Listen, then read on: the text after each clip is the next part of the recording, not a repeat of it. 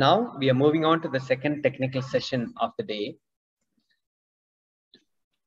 For the second uh, technical session of the day, we are having with us Dr. Harini Santhanam, Assistant Professor, Energy, Environment and CC Program, National Institute of Advanced Studies with us. I would like to brief about uh, Dr. Harini Santhanam ma'am's uh, profile. Dr. Harini Santhanam is an assistant professor with the School of Natural Sciences and Engineering at the National Institute of Advanced Studies, Bangalore. She investigates multiple aspects of coastal lagoons and lakes, including the biogeochemistry, hydrogeological processes, and land water human nexus from an ecosystem perspective. She has been a long-term researcher with IISc Bangalore, working in multidisciplinary teams with a focus on analytical and modeling techniques with implications towards influencing management measures for the resource base. She has led an investigation of the geochemistry of Pulicat Lake as the uh, principal investigator of a DST-funded Women Scientist Project at 2015-2018 uh, at IISc. She was awarded the National Doctor Fellowship from AICTE India 2004 to 2008 and had completed her doctoral research from Anna University, Chennai. Her research interests are largely multidisciplinary, bringing together the insights from uh, sociochemistry, integrative modeling, paleoecological reconstructions, development, and applications of novel proxies and indices. Further, she investigates the challenges towards sustainable development of lacustrine environments and models lake-land interactions from the perspective of blue-green infrastructure development and nature-based solutions for enhancing resilience. She has several publications in national and international journals, book chapters, and conferences to her credit in these fields of research. Dr. Harini is a member of the Commission of Commission for Ecosystem Management, IUCN, and collaborates with networks looking at socio-ecological interactions, vulnerability analysis, and resilience development of ecosystems. Her recent research on sustainability of aquatic ecosystems contribute to the production of useful science and technology policies for management of these ecosystems. She has been significantly contributing to the study on the use of fishery advisors, providing key insights for sustainable development of the marine ecosystems of India. Further, she is presently investigating the impacts of anthropogenic pollution on the ocean and the coastal seas at multiple scales. Another area of her interest includes the study of urban water environments and the challenges faced in context of several risks, the mechanism of transactions, transitions, as well as the policies to provide for effective strategies for mitigation. Through her research and the teaching activities, Dr. Harini wishes to provide insights for establishing policy frameworks for achieving multiple targets of sustainable development goals. The floor is yours, ma'am. We are eagerly waiting for your presentation. Thank you so much. Thanks for that generous introduction. Uh, first of all, a very happy World Water Day to everybody. I hope you can um, listen to me. Am I clear? Yes, ma'am. You can. And uh, thanks, special thanks to uh, Dr. Inbakandan to invite me for this uh, uh, very prestigious faculty development program. Um, also, thanks to Sathyabama University, Dr. Sheila Rani for having me here today. Uh, I'm, I'm I, I, sitting through the first few sessions. It's been a great experience till now to listen to so many experts from different multidisciplinary aspects of water. And I'm going to share some aspects from my own. Uh, so I'm just going to go ahead and share my uh, presentation.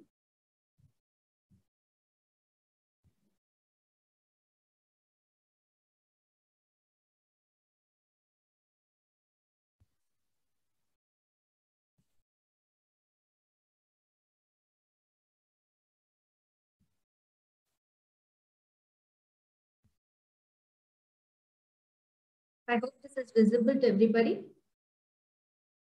Yes, ma'am, begin. Thank you. So let me begin. Um, as I was introduced, um, I'm part of this very important um, organization, um, NIAS, National Institute of Advanced Studies, as well as part of a very important network globally, the IUCN, um, so it's, it's very important that we look at these things from different aspects, uh, being not only a researcher here at these institutions as part of also being part of the network. I am also very um, fortunate to gain so many perspectives on this. So one thing that uh, the, gels with the theme for this year's um, World Water Day of UN is the 2020 groundwater, which uh, the theme, very well uh, recognized theme is to make what is invisible visible. And uh, going with that, I thought of giving a very important title to this talk. And I ended up, when I thought about it, uh, I ended up with this title, The Inheritance Tax, because what bothered me was what we were inheriting as human beings from the environment and as human beings to the environment. So we are having inheritance and we are providing inheritance. So it meant that there is some sort of, you know, the inheritance always comes with a cost. So it is, it was very important for me to look at it from this very perspective. Um, so I chose to look at it from the conjunctive water use methodology to enhance ecosystem services and sustainability of uh, aquatic ecosystems. And I start with this very important slide. So recently I had a, uh, an opportunity to attend Niti Aayog's uh, conference on monitoring and evaluation. So one very important talk was by uh, Mr. Anantha Nageswaran, who is the Chief Economic Advisor of India he gave a very, very beautiful example to understand, to make us understand how important monitoring is and evaluation is. So he started off, of course, this is not um, an example from India, but what he shared was that the experience of having this example before him helped to formulate several other policies. The uh, question that was being interrogated was the malnutrition um, and the death, infant, infant mortality rate in the US. So the, he explained how the studies on infant mortality rate uh, did not confine only to that aspect. It was it, it took them to the field of maternal mortality, which was closely interconnected. And when they talked about it, they found that the maternal mortality rate uh, was not the product of that very moment of giving childbirth or just before that, but that the woman who was giving birth had to be educated right from her teenage years to eat healthy and to have a healthy lifestyle in order to give birth to healthy child and also to be healthy herself.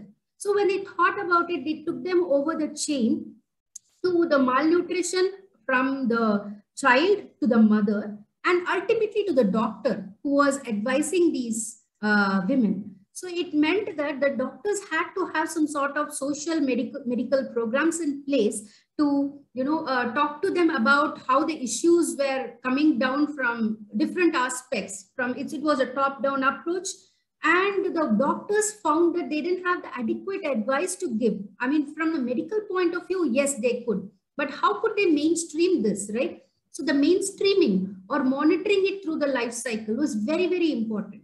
And so that took them to a, a, another level that they found that the educators, or the college professors and the teachers who taught these women, they were the best people to educate them. So it goes down a life cycle of people who are going to be involved in controlling infant mortality rate. So this is a very curious example he gave to say that at, at every step, monitoring was so essential. That meant that the inheritance of knowledge through all these steps is very, very important as well. And this slide explicitly shows, you can see the one which is highlighted in red and the one which is highlighted in yellow. This shows that there is a very, very unique relationship between ecosystems and humans in terms of the inheritance that I explained to you. You can see that there are nearly 500 million people who are currently affected in India by drought and over 20% of these live in the states which are not yet declared open defecation free. So these are two different aspects, drought and defecation, but both are linked to what is essential for life, water. And that has given rise to societal issues, health issues, many, many types of issues. And the health issues you see here, it is connected to how the diarrhea leads to one in five child deaths, which means that we also have to look up at this chain of interconnections between society and the environment if we have to address water issues. Okay. So this is a very important aspect and the SDG goals, the sustainable development goals explicitly state that these are some important perspectives that we have to take forward when we think about water. So I'm going to, as an ecosystem um, uh, person who researches the ecosystem, I would like to draw your attention to trophic states. Uh, Dr. Chakraborty before me explained wonderfully about the effects of plastics and how the inheritance of microplastics over different stages uh, leads to sort of not just you know the pollution but also the legacy that we give to the future generations. And i would support this view completely. But look at this from the trophic state point of view. It alarms us even more because at every step that there is inheritance in terms of magnification biomagnification bioconcentration and the impacts are felt at ecotonal zones. So ecotonal zones are zones which are transitional zones between two ecosystems so when we're thinking about water, we cannot just think about water. We have to think about land ecosystems also, which is a point I'm trying to make here. The freshwater, the brackish water, and the seawater. These are linked through what is known as a continuum. So there is a continuum between the land, the uh, water, and the human beings as well. And we have to understand that alteration in the ecosystem state and function will impact the human beings and the human uh, anthropogenic activities will also impact the ecosystem. So the risk of entry of any bio um, hazard is the highest at all stages. It's not just, you know, at one stage, it is the most vulnerable. And there are several ecosystems which are vulnerable in this way. And this increases at every step, but impacts are felt most downstream or at the coastal and marine areas I come from Chennai. I'm very partial to Chennai. I've lived my whole life in Chennai. I know the kind of impacts that we face. Um, you know, the impacts of pollution, uh, rivers bringing downstream, uh, the most of the pollutants entering the sea. So these are some things that have to be addressed uh, if we have to have a sustainable future. So basically now here we are looking at the hydrological cycle. We have talked about, um, you know, the, the, the concentration or the bioconcentration or magnification at each step. But when we visualize this in terms of the water cycle itself, we will understand that every aspect, be it the river or the stream discharges, be it the outflow, be it the inflow, be the site runoff, or through the groundwater seepages, we are actually interacting um, in different ways with aquatic ecosystems. And it is very important also to understand from a functional point of view that there are superficial processes and there are processes which are happening at lower levels in an aquatic ecosystem. The superficial processes are, you know, up to a few meters from the surface, which is known as the epilimnion, uh, where most of the debris and the plastic litter is found. But underneath, as we go, and also, Dr. Chakraborty rightly pointed out, they settle down in the sediments, which tend to stay for a much longer time. But there is always a cycling which is going on between the epilimnion and the hypolimnion at the uh, surface uh, environments and the benthic environments. And each of these environments, even if we cannot see, there are so many organisms inha inhabiting these environments which are in constant communication or constant interaction between themselves. And the presence of more and more pollutants, uh, the benthic environments will definitely affect even the surface environments. So the natural inorganic carbon cycle, it goes through different parts of the ecosystem and the forms of carbon tend to accumulate different um, concentrations over different periods of time. So we have to understand this from an ecosystem point of view, wastes and water are ultimately very much related and it is not confined only to surface water. It is also, um, uh, you know, the water that we don't see or which is invisible, the groundwater. So moving on, uh, we can look at e aquatic ecosystems in terms of the services that they provide. We are very well aware of the aquatic ecosystem services, one of which is fishing. Uh, it gives fisheries, supports the fisheries. It gives the provisioning services. It also gives the regulating services the water hydrological cycle itself is a regulating service in terms that it cools down the environment. We know that we experience the sea breeze and the land breeze over different periods of uh, times in the day. So these are some, uh, you know, the regulating services that the aquatic ecosystem offers. So uh, based, if we look at it from the perspective of an ecosystem, we can classify ecosystems as being part of an ecological unit, which we have already discussed at length. We also have the environmental link through the functional pathways of the biogeochemical cycling or the exchange of nutrients. Most importantly, which man actually impacts the most is, uh, he also corresponds to aquatic ecosystems in terms of the sources of energies, right? So there, I will try to explain this in further in, in the coming slides, but to just give you a simple uh, example, we actually derive energy from water and we also, you know, use energy of the water. So uh, how do we uh, derive and use? This, this is a there's a slight difference between both. I will come to it. And we look at it from the biological unit as um, the previous eminent speaker has spoken about. And also we look at it from um, you know, a regulatory point of view and a provisioning point of view, as Dr. Shalini Dhyani rightly mentioned in her keynote address. And we look at it as a system of entity also, which actually changes both naturally and anthropogenically at the same time. This is something that we miss. We look at natural signals and we look at anthropogenic signals. Mostly in many of the scientific studies, it's looked at at separate perspectives, right? Although we start off looking at it from a natural angle, we say this is the cycle which is there in the place. This is the biogeochemical cycle that's there there in the place. Then we tend to dominate our uh, thoughts or our uh, concentrate more on the anthropogenically mediated cycles. But why I'm trying to bring your attention back to the natural cycle is that every ecosystem can buffer. And this buffering capacity is naturally inbuilt. And this offers it the resilience much more in magnitude than what man can offer.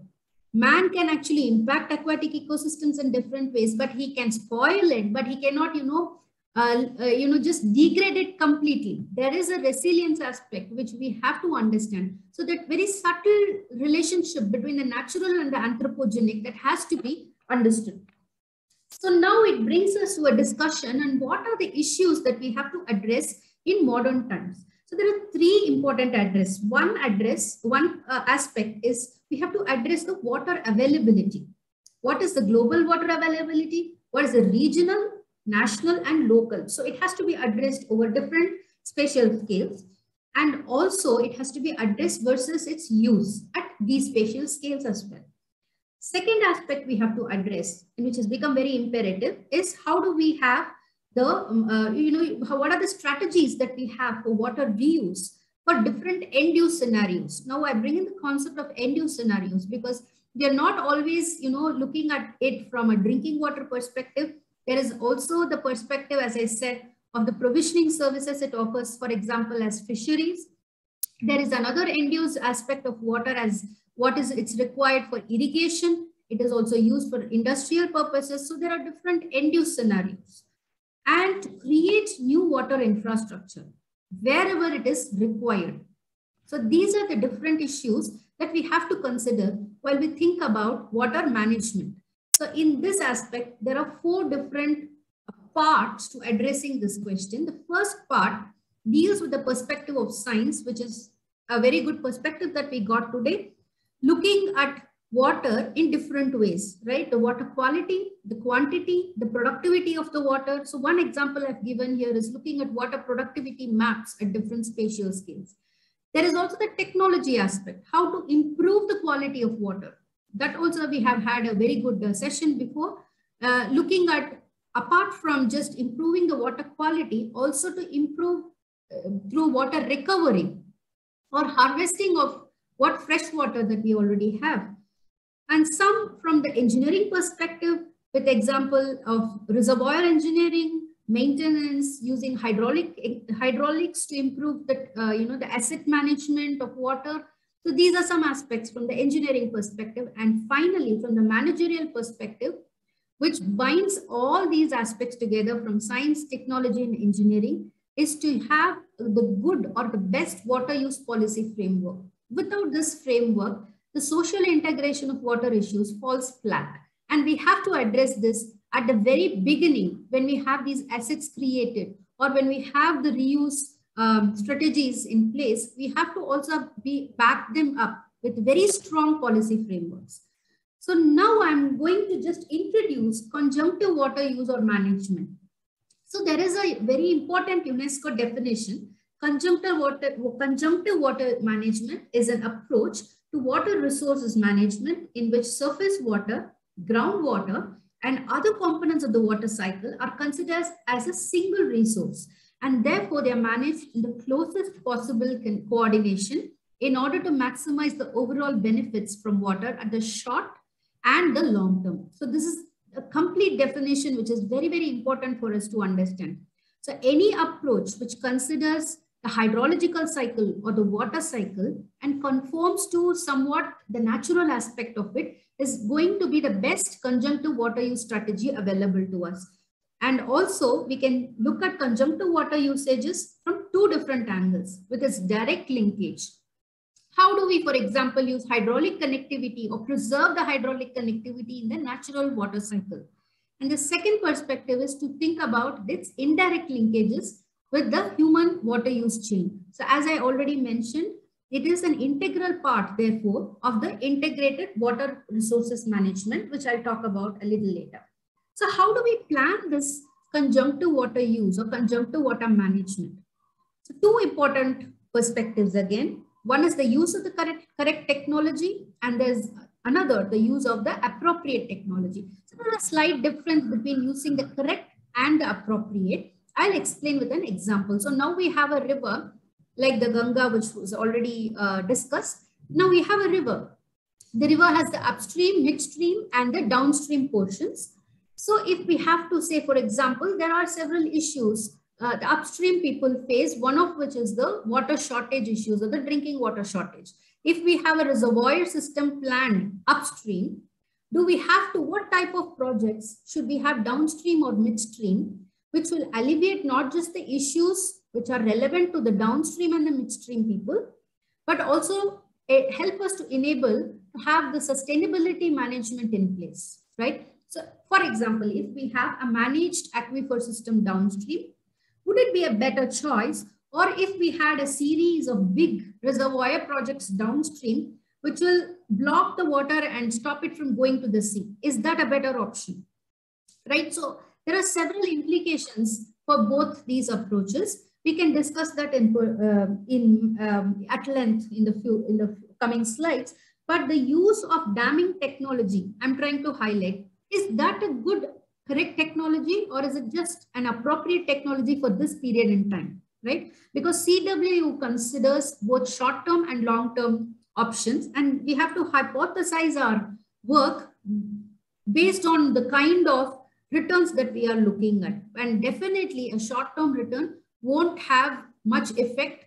Uh, maybe the movie, the population that is present at that moment in time can benefit from it, but definitely not the future generations. So what is very important for us is then to predict and manage the production and the equity issues with respect to the supply and demand of water. That is very, very important. And to address this, we have to have technical innovations for the use as well as strategizing the best use scenarios. So moving on, I give an example of the rural perspective that we have to take because um, we have grown past the perspective of urban problems and rural problems as in the modern times because it's it's the connectivity between the urban and the rural communities although it's not very great but there is still a better connectivity than it was in the earlier times. So one target that both the urban and the rural population together and at a transitional ecosystem as i mentioned the ecotonal ecosystem of the rural we can target surface water availability strategies. We can target in improving the end use efficiency strategies and we can target the optimization of the groundwater strategies.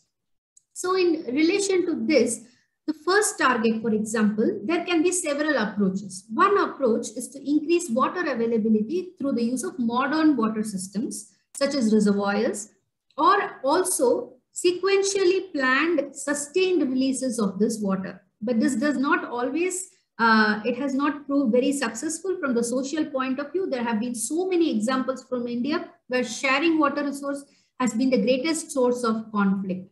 There, the end-use efficiency, if we target end-use efficiency, improving it or enhancing it through meteorological advisories and implementation of policies, this has been a very successful aspect because agricultural advisories have helped optimize the use of water for the farmers.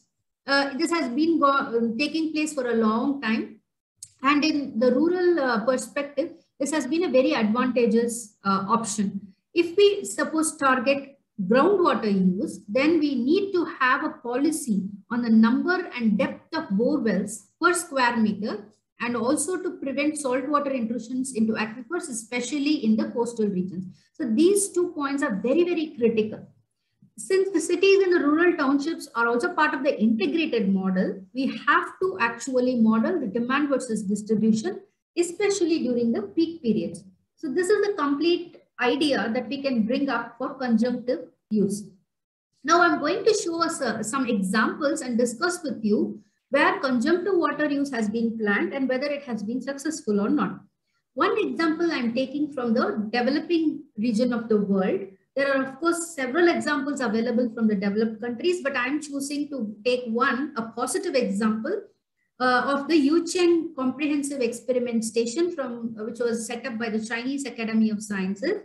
This is located in the district Yellow River Basin District, uh, which is also known as the North China Plain. And it's characterized, the geology of this place is basically characterized by fluvo-aquic soil and salinized fluvo-aquic soil in the alluvial plain. So this is the setting. So the problems that the people faced here were basically vulnerability to drought, the waterlogging of the soil, the salinization of the soil, and the wind erosion, which frequently occurred. So this has actually trickled down. As I say, there are, there are several phases of inheritance, and this trickles down to managing uh, the poor water quality as well as the availability during peak periods. So now this has resulted in lower grain production.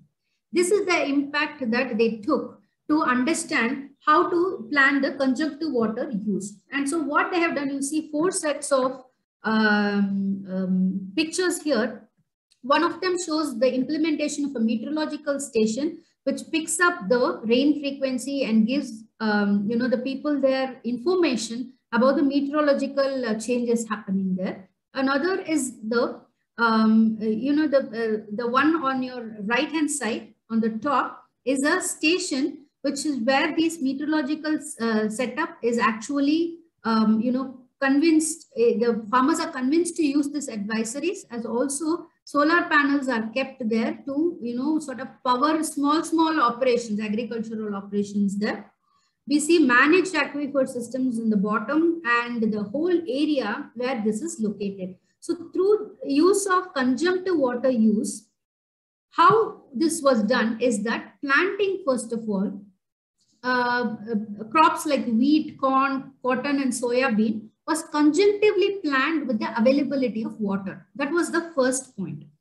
This, what uh, they have wanted to do is to rationally use the resources in such a way that plantation of crops will not deprive the soil of the water and it will not deprive the people for, of the water. And this was done not just uh, arbitrarily, but, but through modeling of water and land components over long periods of time. So what this has resulted in is people are acclimatized to use water when it is, it is also done in different phases and I'll show at what phases how it was done. People were acclimatized to use water at correct intervals so that they were not actually subjected to any sort of inconveniences for the communities which lived upstream as well as the communities which lived downstream. So here I'm showing the uh, different levels in which CW was incorporated. First was a six level canal drainage system was put up in place very much with the natural systems, okay, based on the topography of the system then. And then the water tables were kept low in the flood season and the water was stored at other times. This was the conjunctive plan that they had. It is very important, the depth to water table that has to be maintained, right? So if it is maintained comfortably and conveniently, then the water use can may not be a issue.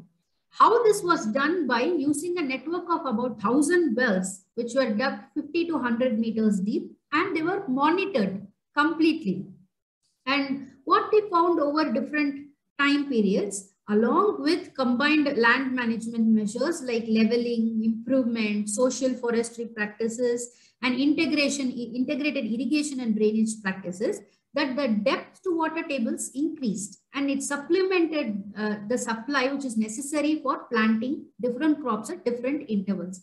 So this also had the co-benefit of uh, lowering the salinity, right? So uh, this resulted in large increases in the grain use. So this is a very successful example of conjunctive water use, which was planned. Now I'm going to show uh, this picture. You can see there are two black and white pictures and there's one in color. So the black and white pictures are of two important dams, the Jubak Dam as well as the NAP Dam. And these are dams which are um, actually located in West Germany. The one in the center, it is a very important reservoir system, as you can see. And uh, what, what happened um, during World War, the Jubak Dam as well as the NEP Dam, these were actually bombarded by bombs and they were broken down. But even in the classic, uh, before the military operations, even in the classic times, this served as centers for conjunctive water use through the uh, presence of dams there, which benefited a large population. But when they were dammed, it broke. Uh, uh when they were bombed, it broke, the dams broke. And again, they had to rebuild the water use scenario from the scratch what I'm trying to say is that man can build many structures. We can have damming technologies in place. We can have, um, you know, drainage uh, series of dams built at different parts of the river. But this is all a social, in, uh, in terms of sociological experiments, it can fail, right? Because the, uh, you know, the operations, the way in which humans operate change over a period of time and this reflects on whatever water systems we have created. And this is going to impact all our lives at very, very, starting from the very smallest level to the highest impact possible. The Dunn-Reser reservoir that you've seen was built in the modern times. And this is a very well researched uh, um, reservoir, which is not completely dammed. It is also a place where social forestry is practiced. It is also a place where ecotourism has been planned and it has taken place over the natural topography. This was something that the Germans came up with an innovative technology. And this is an example to show that where uh, humans uh, decide, come into the decision with respect to water, there can be many, many issues. Uh, and this table that I've taken from Schul's paper in 1989 shows that there are different actors which will determine what the management, water management expertise will be and how this is going to be implemented.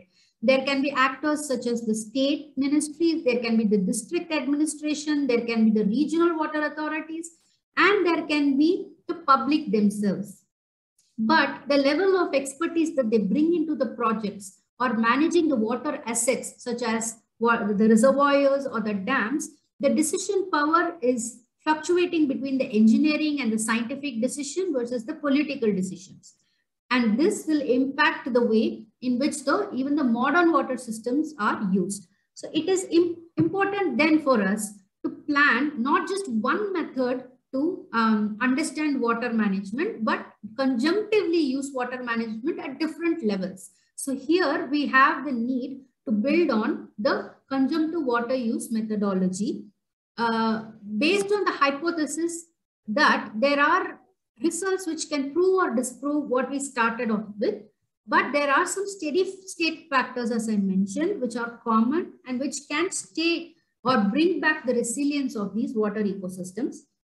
So what this basically shows, suppose we take the example again of the Mary, um, uh, the, um, you know, the managed water aquifer ecosystems downstream. So there are several managed aquifer systems downstream, especially in the coastal areas in Tamil Nadu, where the water is stored underground. Okay, whatever is, is the runoff, it is stored underground. There, they are stored at basically the high tide levels um, and the low between the low tide levels in the transitional zones. Basically, uh, we have one such example very close to Pulicat where I have been working for a long time. This is uh, placed on the uh, Andhra Pradesh side. So now the question is, during a transboundary operation, we are collecting water downstream, which is coming through the floods.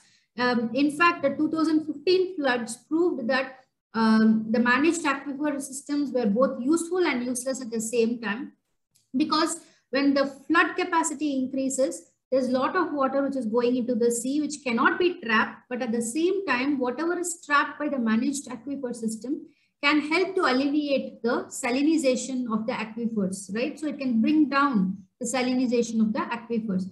But when this is placed in areas where we have to plan for cyclonic flooding or inundation beyond a certain capacity, it shows us that more engineering is required and more uh, thought is required from where to place these managed aquifer systems. So that is the hypothesis that we started with, that managed aquifer systems are the best ways to manage downstream water issues, falls flat on several places, but also it, it, then it proves advantages in several other ways. So we have to assume the flood capacity and it, it is a coordinated effort, effect, effort between the scientists as well as the you know the engineers and the technologists to come up with more innovative solutions.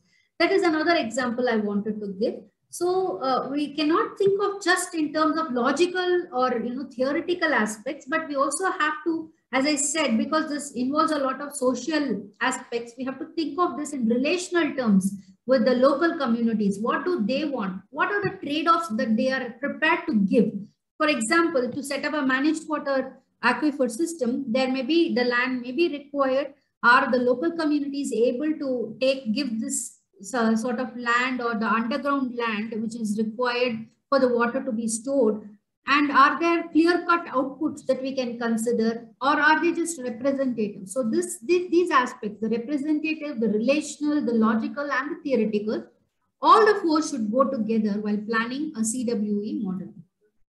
So from a scientific model explaining just the natural processes, we go into a technical mode where the technological advancements such as the simulations or predictive models help us to study the flow characteristics at better levels. And also finally, the management model which combines optimization techniques of the socio-economic processes as well as the scenario-based factors. This is very important. We tend to concentrate, uh, as uh, Dr. Shalini Dhyani mentioned, some systems which operate in North India or the other places may not be applicable to the South India. So it should be a scenario based or a local based factor that has to be understood when we, uh, we are suggesting appropriate resource usage and management plans for a particular place. So this slide, I'm not going to go into details, but I can tell you there are certain factors which are very essential to plan conjunctive water use. One is to manage the seasonal steep variation in the river flow over a year. Second one is to mitigate the effect of shortage in water supplies if there are any. The third one is to, we have to also develop the capability to depend on local water um, availability and the local existing supplies of water. It can be through, um, you know, uh, uh, the tap, it can be through, but we have to manage along with what water we are getting through, uh, uh you know, the other supplies. Uh, basically, we are also in Chennai, I think we are very much um, uh, conversant with the use of rainwater harvesting techniques. That's a way that we supplement our local water resources, right?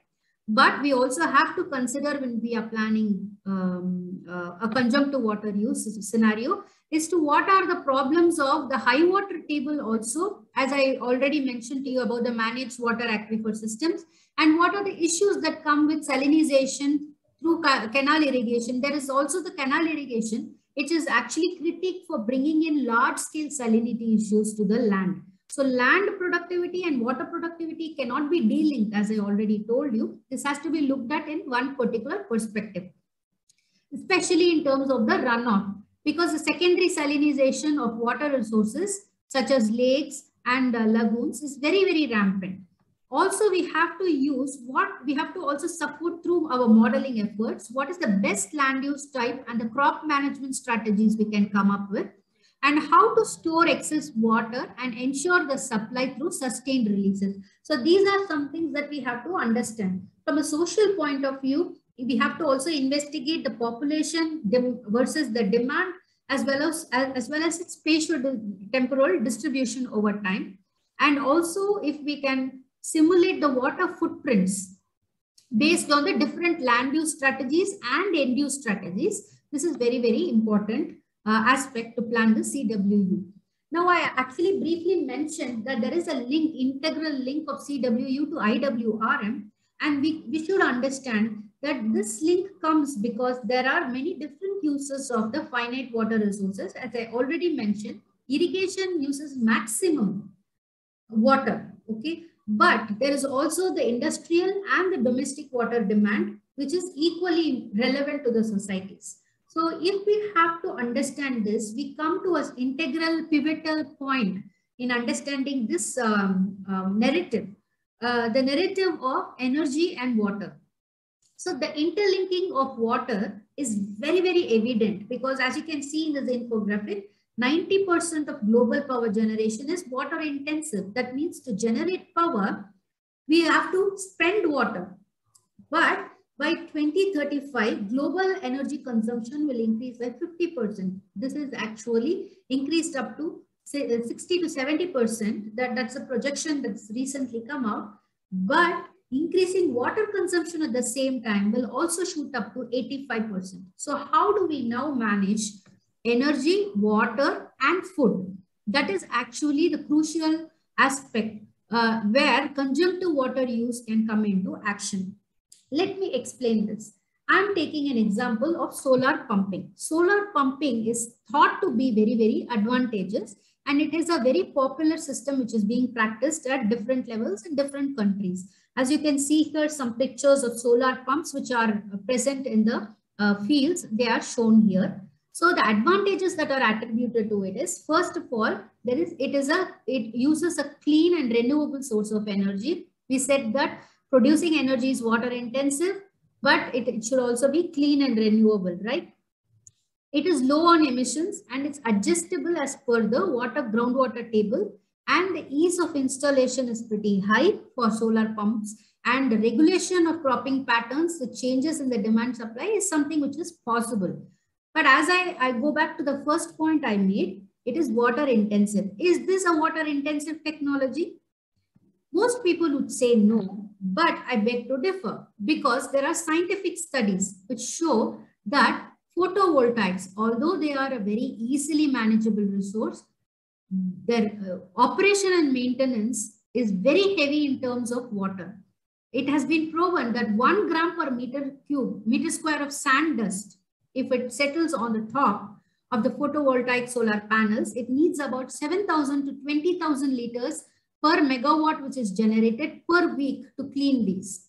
If it is, does not happen, the uh, photovoltaic output or the energy generation falls by 80%. Further, there is the effect of monsoonal effect, which is very unpredictable. And the end life of photovoltaics is also an unpredictable system. So this decrease in the performance is guaranteed. We know we have to accept that photovoltaic performance will decrease. But what about its effect on the water demand? Right? We have to understand that. For example, if you can see here, there is a uh, picture where a truck with robotic arms cleans about 2,58,000 solar mirrors in Shams 1, which is a solar power concentrating plant uh, in Abu Dhabi uh, rich countries like Abu Dhabi, they can, you know, afford such robotic cleaning of its solar panels. But can we do that in India? Is it affordable for us to do that in India? So what the, what the point that I'm trying to make is there are renewable water uh, energy sources which are available, but are they actually convenient for conserving the water? We have to have that sort of clarity when we come up with approaches and this is very much a part of the conjunctive water approach that we were talking about. In place of solar, what is considered small and small and micro hydropower projects? Uh, why I'm bringing this up is that the estimated potential in India is about 15,000 megawatt. Only 16% has been developed till now. But there are so many advantages to use of small and micro hydropower projects. Some of these are shown here for example, the use of inexpensive construction, which also parallels that of the solar energy, but it is not going to be a big drain on the natural capital of water. So there are, there can be simpler installations, they can be short gestation periods to generate power and with quick financial returns. More importantly, it is applicable for remote and hilly areas as well as in the plains. And it has a very low impact on the environment and low cost of electricity generation. if you see Arunachal Pradesh, for example, has, a has been identified as having the best sites for using small and hydro uh, micro uh, hydropower projects. And the richest uh, uh, uh, state in terms of this SHP potential is uh, found to be Himachal Pradesh, where, which has about 547 sites with a capacity of 22,000 megawatt. Right. So this is something that we have to look at now, Arunachal Pradesh and Himachal Pradesh can be very, very important regions where small and hydropower projects uplift even the social communities or the human communities which live in their, um, you know, the, around their ecosystem. Here I'm showing an example of some small and micro hydroelectric power projects. This uh, picture here shows one in France, which is built. So there are three different types of HEPs. One is mini, which can produce power less than 1 micro megawatt. There are micros which can produce power less than 100 kilowatt and uh, pico which can produce less than 10 kilowatt. Uh, you can ask what is the use of having this kind of you know small HEPs. Uh, uh, the, the point is that we are looking at sustainability from local perspectives as well as you know uh, somewhat sub-local perspectives in that aspect, if we are we can be sustainable and self-sufficient, there is no need for bigger projects which have more impacts on the environment. So from that point perspective, if we see, here you see the example of a mini HEP in Italy, which is built at, uh, uh, you know, a very forested uh, environment, as you can see, without disturbing the environment through the natural flow of the streams which are there, right? So it is going to actually not impact the environment on a large scale. It is a mini HEP.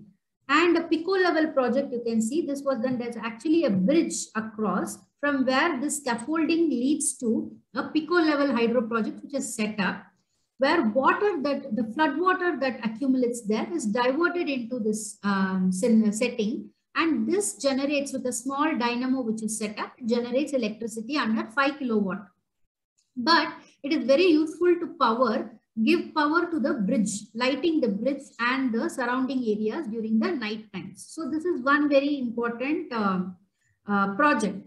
Another example of uh, that we are all aware of and which is coming up in recent times is using what are known as photovoltaics. Basically, these are photovoltaics which are floating on top of the water. Evaporation, which is considered highest in India very, at a very high rate and it's draining the water resources this system, such systems are um, projected to be helpful uh, to put down the evaporation, evapotranspiration losses, as well as produce electricity at the same time. But it is not very well understood what happens to the ecosystem if they are covered with solar panels, right? That is still a study which is uh, still, uh, which requires a lot of R&D and it's still going on. But in the long term, is it sustainable? if this approach is sustainable, that has to be yet seen. This is another example of the, the two examples here rather of the micro HEP systems, which are very, very nice systems. One is a farm level micro HEP system. See, the beauty of this is that this is a community le level enterprise and the residence level or an individual level enterprise, which is uh, a micro hydropower project set up to divert wastewater streams which are generated in the uh, resident level to power a dynamo, right? So here, if you see, we saw actually a regional to a sub-regional level. From a sub-regional level HEP, we came down to the mini and a PICO level project, which are basically administratively village level or a forested level approach. Here you can see they are down to even community level and individual centric level. So if we can innovate using micro or farm level micro or a residence level micro hydro project, it can be sustainable over long periods of time. And you can see that these can be built with natural materials without taking much space or spoiling the environment. In fact, the farm level micro HEP you see here uses water which is uh, diverted from different farms. It's collected and sent through this turbine, which can help to generate electricity and power the lighting systems around this farm. So here, now the, the very important aspect that we bring in from these experiences is that we should stick to more uh, natural level approach and nature based approach and more with blue-green infrastructure approach, which utilizes whatever infrastructure is available in a place so that we realize both short-term and long-term advantages. Okay. So here the um, NBS or nature-based approaches become very, very important, which is also a, a framework under the IUCN. Uh, the definition of a nature-based solution is very beautifully given here. Actions to protect, sustainably manage, and restore natural and modified ecosystems that address societal changes effectively and adaptively. This adaptively keyword is very, very important because as I said, there is a natural resilience which we, we should let the ecosystem uh, build on itself and help to build, right? So that it can simultaneously provide both human well-being and also biodiversity benefits and the transition to use ecosystem services with reduced inputs of non-renewable natural capital and enhanced investment in the renewable capital, natural capital. This is an approach which is very, very central to using nature-based solutions. So the long-term effects, of course, are that we are looking at preservation of ecosystem quality and ecosystem-based resilience development, as I've discussed. On the short term, the noticeable change in pollution, they improved psychosocial and health conditions as well as cost effectiveness. These are the characteristics of a well-planned nature-based solution um, in, in a given area. But the most important thing that nature-based solution offers is sustainable development and positive inheritance for the future generations. So this uh, slide here shows some of these aspects with respect to the aquatic ecosystem, especially the riverine ecosystem. As you can see, the there is one place where I would like to draw your attention to. It is the midstream. The connecting rivers to floodplain and aquifers ideology is very, very important because this is where many problems begin, right? One thing is use of slope cultivation or uh, erosion prevention by naturally engineering, naturally natural substances or engineered materials to prevent downstream flooding and to use the forested landscapes for regeneration. So these are some upstream nature-based solutions which are perfectly feasible and perfectly possible and it has been practiced over several generations. The ones in the downstream, like creating riparian buffers to have wetlands conservation and eco restoration as Dr. Inbakandan had shared before, and also to use water and wastewater harvesting techniques uh, reuse techniques and improving infiltration and bioretention. These are very perfect nature-based solutions which are applicable for downstream. But if you see the midstream, connecting rivers to floodplains and aquifers, this is where we fall short many, many places because the connectivity between the rivers with the floodplain is blocked due to the heavy urbanization trends that we notice. And also the connectivity of the rivers to the aquifers, not letting enough time for infiltration or percolation and you know recharge of the aquifers. That is something that is um, a, a, very crucial aspect which needs more and more research and more and more managerial aspects. We have to concentrate on it from the nature-based aspect. So finally, I'm, I'm showing here how supporting conjunctive water use and conjunctive managed water management measures can help to achieve several SDG goals. So we, we all know that there are several SDG goals um, uh, and each of it is a very, very critical role. But the use of conjunctive water use and management can help to, um, you know, uh, in, in different levels, help to uh, satisfy hunger, to have, you know, no poverty situation because if water distribution is equitable, everybody is going to be able to afford decent living conditions and economic growth and there will be responsible consumption and production if we have a conjunctive water use system and plan which assures water equity and distribution to everybody. So also we preserve from an ecosystem perspective, the water resources, the water life below water, that is the fisheries, as well as the life on land, the cropping and the agricultural uh, fields. So this actually helps us to realize the true natural capital and also to pass it on to the future generation and this will be the true inheritance without tax or without costs. So if we are able, I know it's a very difficult journey to plan this, but we have to think of different innovations and different ways in which we can achieve this so that we no longer end up with an inheritance tax, but only inheritance profits. So with that, I thank you all for your uh, attention today and for the opportunity to discuss some of the most important case studies and issues related to water management with you all. Thank you so much. Thank you so much, ma'am. Thank you so much for the well-structured presentation that is uh, very informative. Uh, participants, if you have any uh, queries regarding the topic or regarding the lecture, you can uh, directly interact with the speaker or you can share, share through the chat box.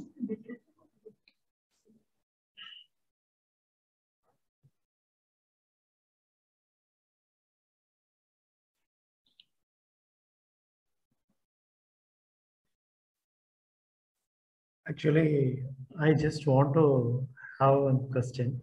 Actually, it's a very beautiful presentation and uh, you have interlinked everything uh, in a very informative manner. Uh, that, that's what I want to highlight first. And uh, uh, it is the right time. Uh, your presentation is almost now we the even the parliamentary committee is talking about the river linking project and all. based on your observation, Oh, can you highlight something on that? What will be the merits and demerits of this if it is implemented? Yes. Um, so um, I have a PhD student who's working with me on interlinking aspects, but we are very cautious about this. Uh, as I already explained to you, first of all, we need to, when we, we are scoping a region, we have to see what are the local water resources which are available and whether they can be managed to make, we can manage them to make it sustainable so the, the community structure sometimes also gives us clues because there are communities which take very less water and they can use it very sustainably. We have to look at these indigenous ways in which people use water, indigenous ways in which they manage water. But there are communities which tend to use it more without even thinking about where the supply is coming from and what is the, you know, the level that they can use. This is typically typical of the urban areas, I would say.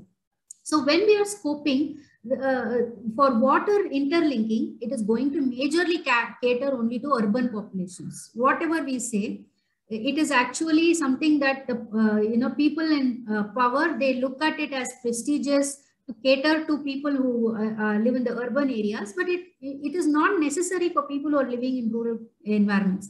This is what we see during our ground level surveys.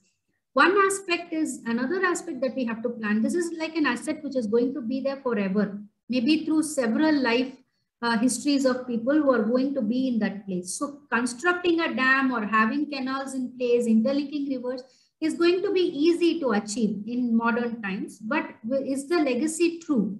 One problem is salinization. And another problem I can give you example in Hyderabad, Karnataka region in um, Karnataka, where we are studying, there is a very acute problem of arsenic contamination in the groundwater. So here, if we are going to, you know, have uh, surface water diverted from some other place and it is going to be also, there are also recharge pits which are planned alongside the canal system or the interlinking uh, rivers system that we are thinking about. Um, Tungabhadra, for example, there, are, there is a lot of area around this Tungabhadra river where these managed aquifer systems are also planned. But if we are bringing water, water is not going to be just the rainwater which is flowing through or just the river water which is flowing through. It is going to be a combination of all the water resources in one place, which is going to be diverted to another place. So are we going to bring in contaminants from one place to another place? This is a serious perspective that we have to argue about. And this is something that I tell my student, what can you ensure the best water quality in the destination Maybe at the start you can, but as water flows through the systems, uh, where it ends up, can we actually, you know, uh, say that this is the best end use scenario in terms of water quality also? Because arsenic, for example, is a very difficult contaminant to manage. So are, are we going to compound the problem by actually, you know, addressing demand issue? Are we going to compound the problem of water quality issue? So these are some perspectives which required very important insights. We cannot look at it just at, you know, uh, as an engineering uh, solution or just as, um, you know, the new water-centric uh, management plan aspect, but we also have to look at it from the environmental sustainability aspect. So, so I think is, in that it is like um, bio-innovation.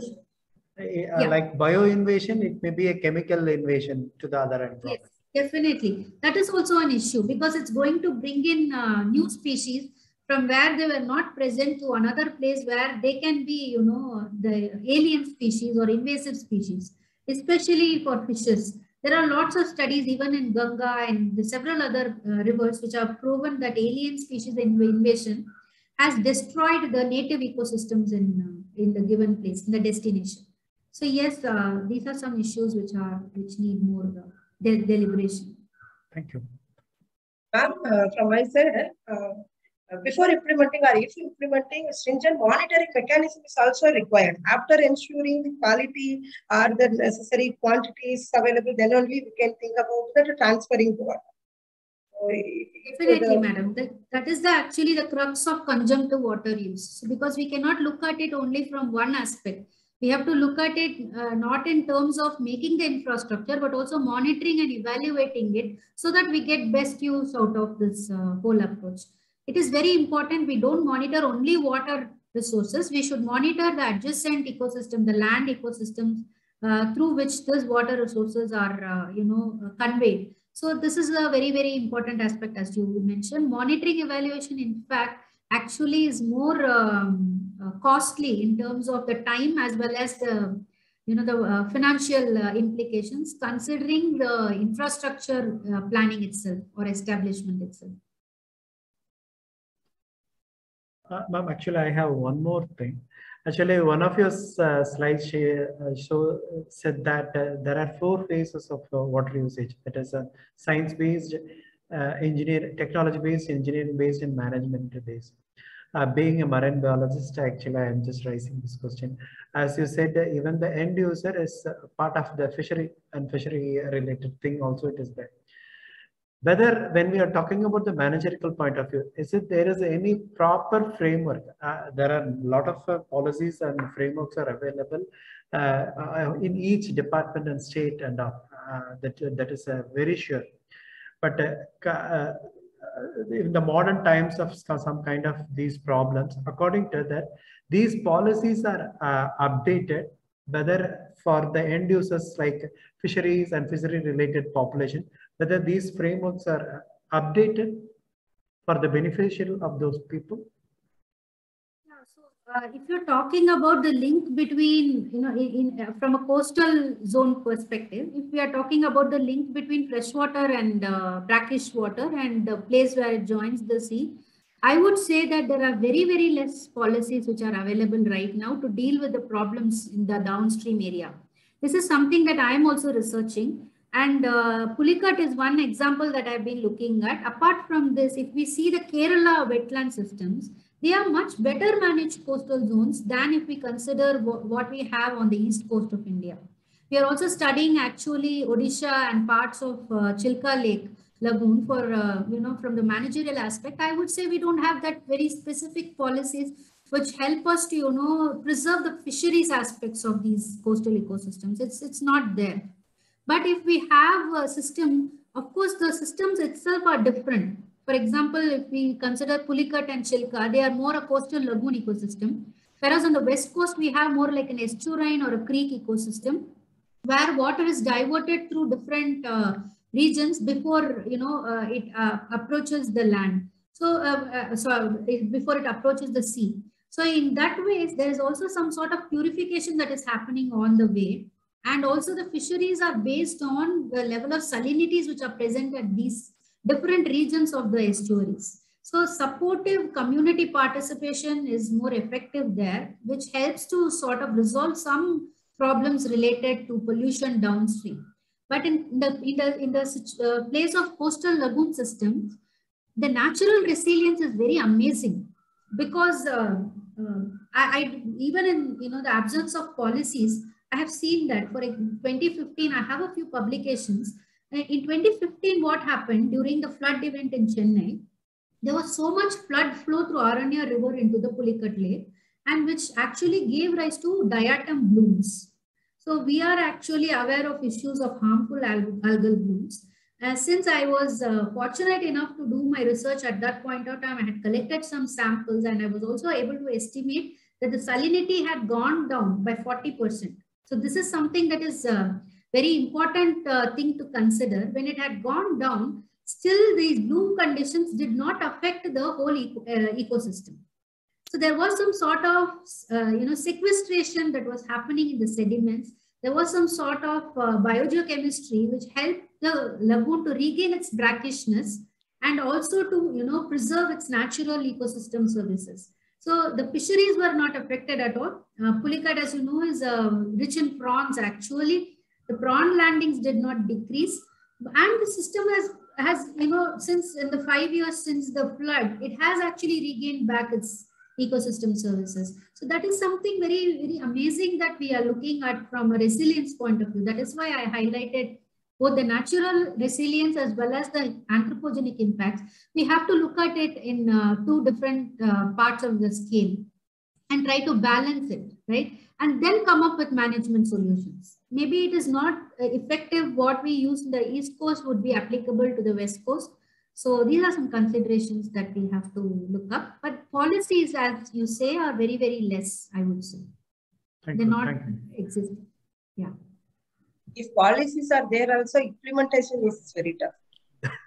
Definitely. But we have to have implementation stitched into the policy itself. Then it becomes very effective.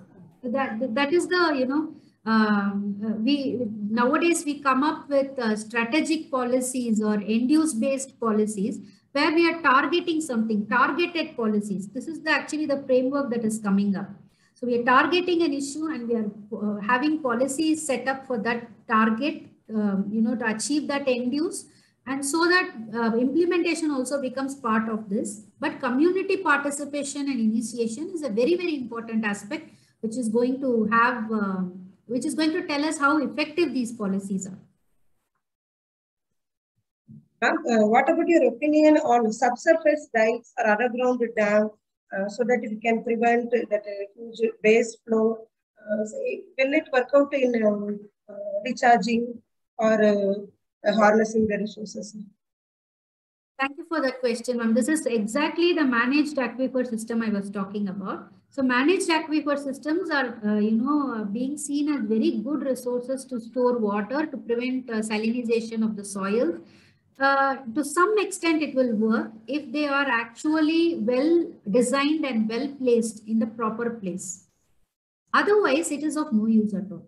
Because even if we if we have design structures which can withstand uh, withstand floods, of known uh, intensities, there can be another flood which will, you know, supersede all these flood events.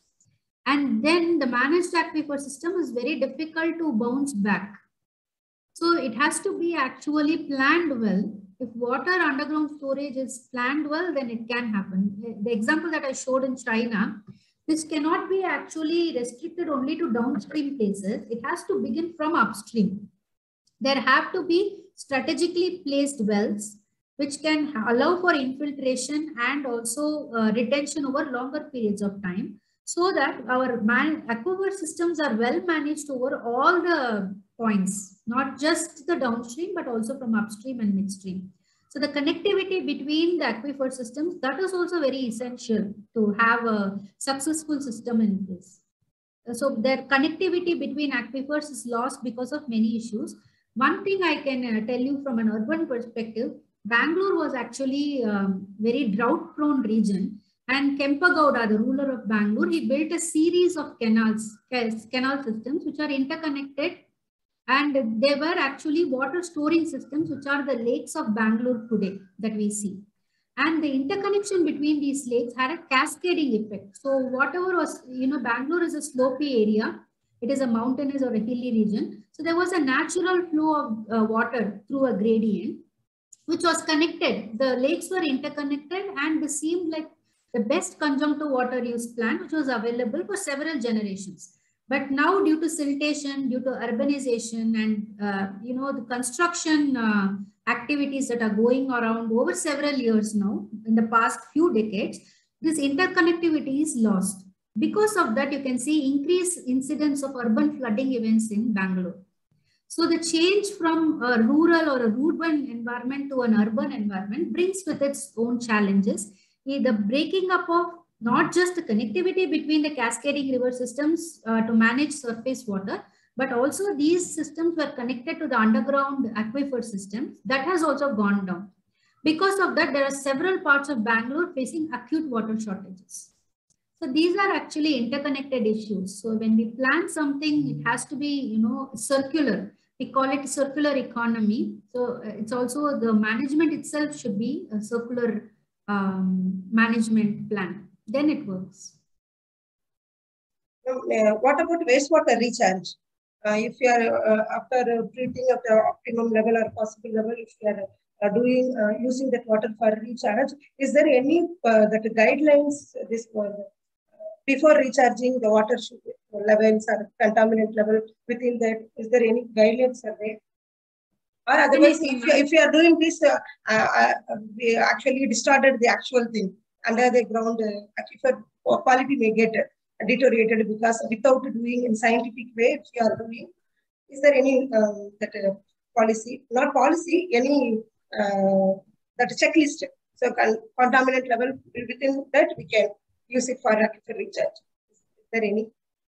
Yeah, so basically uh, there is a categorization of uh, end-use uh, scenarios for water, which is given by CPCB. We are aware of it.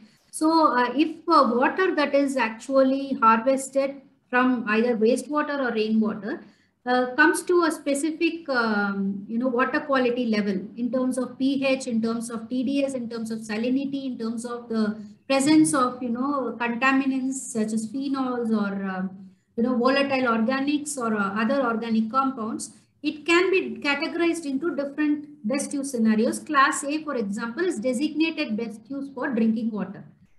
What I would uh, say is that the other, there are other classes B, C, D, and E to which uh, water, these water, that is the water harvested from wastewater, can be used. Okay, the recovered water can be used, for example, for industrial applications.